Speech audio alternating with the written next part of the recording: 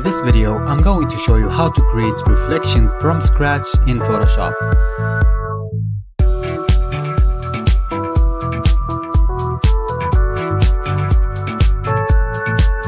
Hey guys and welcome to another Photoshop tutorial and in this tutorial you are going to learn how to create a realistic water reflection by leveraging the power of blend if and displacement maps inside of Photoshop.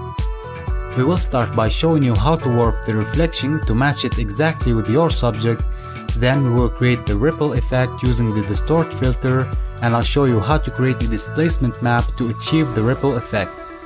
And lastly, we will blend the reflection using blend if and blending modes. So without any further ado, let's get started. So as you can see here, I already masked the subject and added a layer mask. And I chose an image with a similar lighting conditions so I can focus on creating the reflection. Okay, so for this image we need to match the perspective first. So start by flipping the image by clicking on Ctrl or Command T and then choose flip horizontal. Now if you hold shift and click on the layer mask to disable it, you can see that the horizon line of the subject image is higher than the background. So you need to drag the image to the bottom to match the horizon lines so you get the right perspective when you scale the image down. When you do that, click on Ctrl or Command T to get to the free transform and then you need to drag the anchor point and align it with the horizon line of the background. And now when you hold Alt or Option and scale the image down, it will scale based on that anchor point. Okay, let's create the reflection now.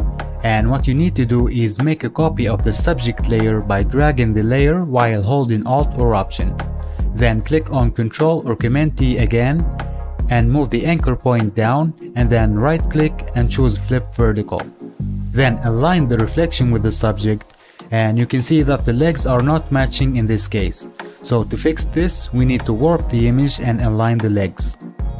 Now before we do that, we need to apply the layer mask first because we are going to apply a distort filter later which is not gonna work with the layer mask active. So right click on the layer and choose rasterize layer. Then right click on the mask and choose apply layer mask. And then convert the layer to smart object again. Now go to edit, puppet warp. So what we need to do first is add a new point on the left leg so it becomes locked and it will not move when we warp the image. Then add another point to the other leg and you will see that when you move this point, the other leg will stay locked in place. You can also rotate the point by holding Alt or Option. Now align the right leg to the subject and add other points if you feel the need to. And now add one last point at the bottom to realign the whole shadow. Then hit the check mark to accept the changes and use the arrow keys to align the reflection further. Okay, now that the reflection is in place, we need to create the ripple effect.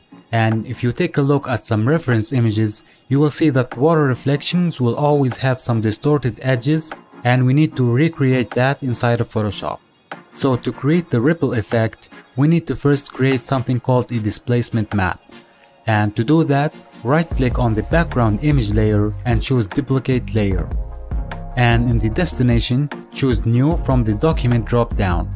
Now you need to desaturate the layer, so click on Ctrl Shift U, then you can increase the contrast with levels to get a better distortion. Then save the file as a PSD and call it displacement.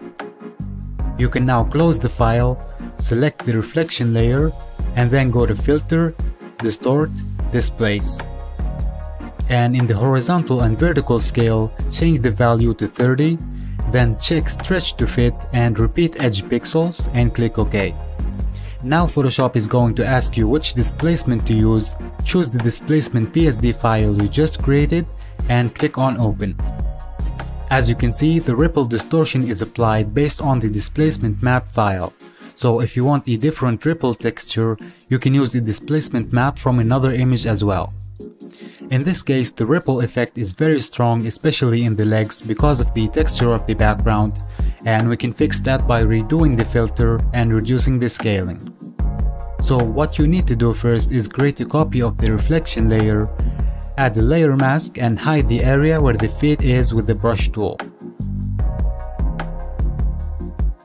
Now in the subject layer copy, double click on the displace filter and this time reduce the scale to 10 and choose the displacement map again. In this layer, you are going to add an inverted layer mask using Alt or Option and then reveal only the feet using the brush tool with the foreground color set to white.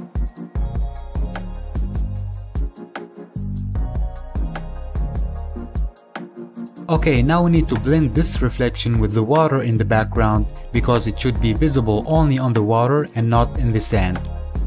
And to do that, double click on the layer to bring the layer style dialog box and in the blend if options in the underlying layer slider you are going to drag the right slider to the left to make it not visible in the highlights. And to make the transition smoother and blend it better with the background, hold Alt or Option to split the slider. So that's before and after blend if. And as you can see, this step will make the reflection a lot more realistic. You can now add the levels adjustment layer to make the shadow darker or you can change the blending mode to multiply. What's left to do now is to match the color of the subject to the background by adding a color balance adjustment layer and then clip it to the subject using Alt or Option and then add some red and yellow. Then add the levels adjustment layer and darken it a little bit. Next add the hue saturation adjustment layer to the reflection layer Check colorize and then change the hue to red to match the color of the subject.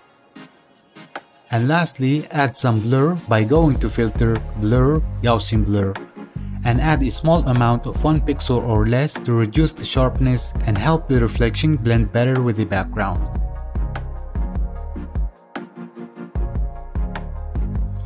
So that's how to create realistic reflections in Photoshop using the displace filter and blend if. If you enjoyed this video and you learned something new today, I would appreciate it if you subscribe to the channel and give this video a like. This will help the YouTube algorithm discover the channel and surface it to more people. So that's it for me today. Thank you guys so much for watching and I'll see you in the next video.